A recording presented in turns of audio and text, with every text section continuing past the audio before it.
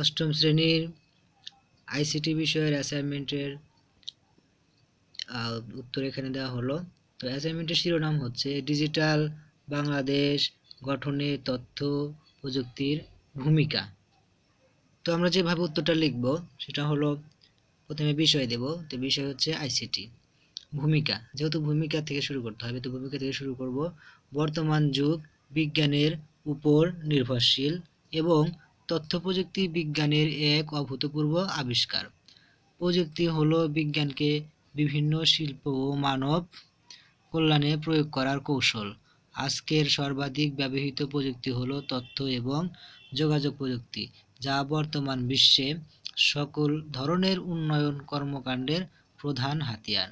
বিজ্ঞান ও প্রযুক্তি বিশ্বে তার অবস্থানকে শক্তিশালী করতে এবং একবিংশ শতাব্দীর চ্যালেঞ্জগুলির জন্য প্রস্তুত করার জন্য প্রযুক্তির বিকল্প নেই।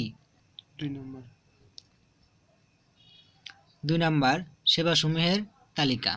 তথ্য ও যোগাযোগ প্রযুক্তির উন্নয়নের মূল সমর্থক মূল সার্থকতাই সার্থকতাই হলো এটার ব্যবহার করে সুফল অর্জন করা।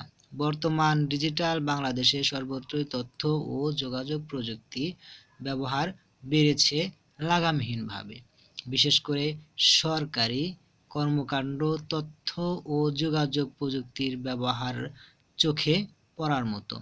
তথ্য প্রযুক্তির মাধ্যমে সরকারি সেবা খুব কম সময়েই সাধারণ মানুষের দোরগোড়ায় দোরগোড়ায় মানে কাছে পৌঁছে যাচ্ছে। সরকারি সেবাসমূহের তালিকা দেওয়া হলো। ই পর্চা ই বুক ই পুঁজি পাবলিক পরীক্ষার ফলাফল প্রকাশ ই স্বাস্থ্যসেবা অনলাইনে আয়কর রিটার্ন প্রস্তুতকরণ, টাকা স্থানান্তরকরণ, পরিষেবার বিল পরিশোধ, পরিবহন অনলাইন রেজিস্ট্রেশন ইত্যাদি। নম্বর তিন ডিজিটাল বাংলাদেশ ও প্রযুক্তিভিত্তিক সেবা। ডিজিটাল বাংলাদেশ গঠনে প্রযুক্তিভিত্তিক সেবা কার্যক্রম বৃদ্ধি করতে হবে দেশের মানুষের জন্য ডিজিটাল সেবা দিতে হবে। বিভিন্ন ক্ষেত্রে ডিজিটাল সেবা চালু করতে হবে। নিচে প্রযুক্তিভিত্তিক সেবা সম্পর্কে আলোচনা করা হলো।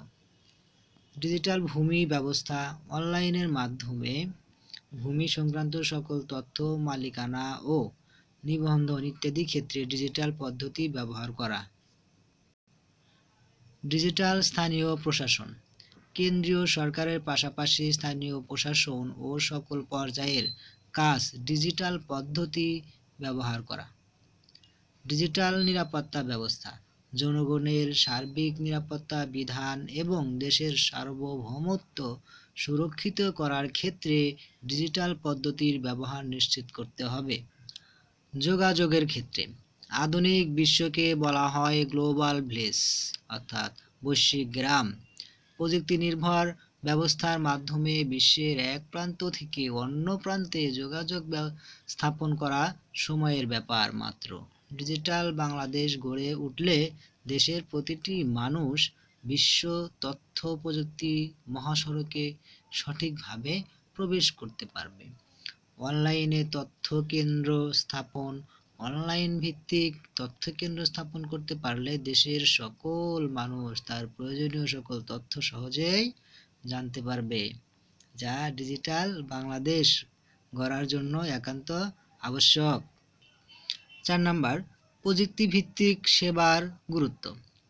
প্রযুক্তি ভিত্তিক সেবার গুরুত্ব, এটা চার নাম্বার হবে। আধুনিক জীবনযাপনে তথ্য ও যোগাযোগ প্রযুক্তির গুরুত্ব অপরিসীম। তথ্য ও যোগাযোগ প্রযুক্তি মানুষের জীবনকে করেছে উন্নত। জীবনযাত্রাকে করেছে সহজ তথ্য প্রযুক্তি, মূলত একটি সমন্বিত মাধ্যম যা অডিও, ভিডিও, টেলিযোগাযোগ, কম্পিউটিং সম্প্রচার সহ আরও বহুবিধ প্রযুক্তির সম্মিলনে দীর্ঘদিন ধরে চর্চার ফলে প্রতিনিয়ত সমৃদ্ধি লাভ করছে। তথ্যপ্রযুক্তির বিপুল বিকাশের ফলে সমাজের বিভিন্ন স্তরে নানা ধরনের পরিবর্তন সূচিত হচ্ছে। এর ফলে অসংখ্য নতুন নতুন কাজের ক্ষেত্র তৈরি হয়েছে। তথ্য প্রযুক্তির মাধ্যমে শিক্ষা, চিকিৎসা, গবেষণা, যোগাযোগ, ব্যবসা, বাণিজ্য, বিনোদন সহ নানা ধরনের সেবা পাওয়ার সুযোগ সৃষ্টি হয়েছে। সাম্প্রতিক সময়ে মোবাইল ফোনের ব্যাপক প্রসারের ফলে প্রত্যন্ত গ্রামে, গ্রাম অঞ্চলের সঙ্গে সারা বিশ্বে যোগাযোগ করার সুযোগ সৃষ্টি হয়েছে। বর্তমানে শিক্ষা ব্যবস্থার তথ্য প্রযুক্তির কল্যাণে শ্রেণীকক্ষে পাঠদান থেকে শুরু করে ফর্ম ফিল আপ, ফলাফল প্রকাশ ইত্যাদি নানা শিক্ষা কার্যক্রম পরিচালিত হচ্ছে। চাকরি, ব্যবসা, বাণিজ্য ও প্রযুক্তির ব্যবহার দিন দিন বৃদ্ধি পাচ্ছে। এর ফলে চাকরিদাতা ও প্রার্থী অনলাইন, অনলাইনে খুব সহজেই যোগাযোগ করতে পারে। উপরোক্ত আলোচনার পরিপ্রেক্ষিতে তাই বলা যায়, মানুষের জীবনযাত্রাকে সহজ করতে মানবজাতির কল্যাণে এবং উন্নয়নে তথ্য প্রযুক্তির গুরুত্ব অপরিসীম এবং প্রতিনিয়ত তা বৃদ্ধি পেয়েই চলেছে। সবশেষে যেটা, সেটা হচ্ছে উপসংহার। সম্ভাবনার উজ্জ্বল দুয়ার দুয়ারে দাঁড়ানো একটি দেশ আমাদের প্রিয় মাতৃভূমি বাংলাদেশ। এদেশের উন্নতিকে ত্বরান্বিত করতে আধুনিক তথ্য প্রযুক্তি নির্ভর দেশ গঠনের কোনো বিকল্প নেই। আর তাই আমাদের আরও বেশি তথ্য প্রযুক্তি নির্ভর হতে হবে এবং এই খাতকে সমৃদ্ধ করার মাধ্যমে দেশকে এগিয়ে নিয়ে যেতে হবে। ভিডিওটিকে ছোট করার জন্য আমরা বাহুল্য কথা বর্জন করেছি। যদি কারও কারও কোথাও কোনো সমস্যা হয়, আমাদের অবশ্যই কমেন্টে জানাবেন।